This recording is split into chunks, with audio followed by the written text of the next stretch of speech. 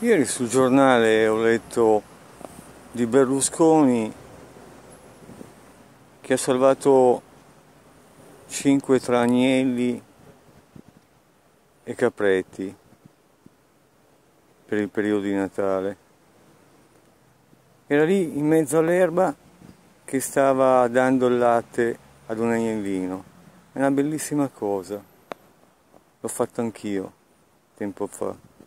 Ma quello che mi viene da chiedere è come mai non abbia fatto lo stesso per quel ragazzo che sei anni fa le scrisse, inviandogli anche la documentazione, che stava morendo perché era costretto a vivere fra le macerie di casa che era esplosa due mesi prima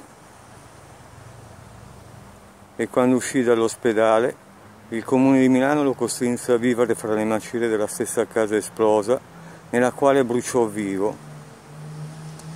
Ecco, quel ragazzo, sentendo di morire in quelle condizioni, costretto a vivere peggio di un animale perché era quasi privo di mani, bruciato dal fuoco e per cui non poteva né mangiare, né bere, né lavarsi, né vestirsi, soffrendo il freddo ogni notte,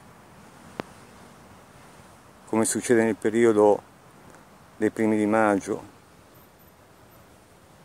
Ecco, quel ragazzo con difficoltà, avendo le mani in quelle condizioni, mandò una lettera, una raccomandata al signor Silvio Berlusconi, che era anche Presidente del Consiglio.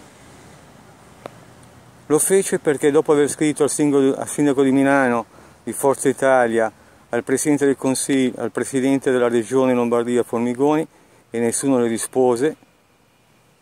Chiese appunto con quella raccomandata a Berlusconi di poter fare almeno una telefonata alle autorità perché intervenissero per sistemare almeno la casa, non farlo morire in quel modo, agonizzando giorno per giorno fra le macerie, la fuligine, lo sporco, con tutte le ferite sul corpo causate dal, dal fuoco che potevano provocare un'infezione per cui ucciderlo, oltre a non poter mangiare.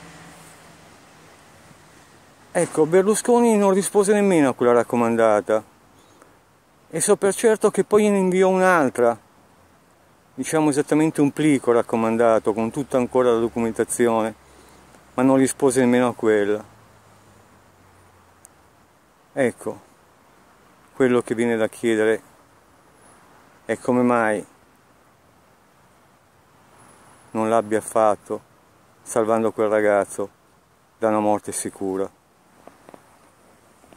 E volgendo gli occhi al cielo posso dire una cosa, grazie a qualcuno in cima, oltre questa realtà, questa dimensione, che ha aiutato quel ragazzo. Anche se quel ragazzo moralmente e anche fisicamente, essendo stato storpiato dal fuoco, è morto.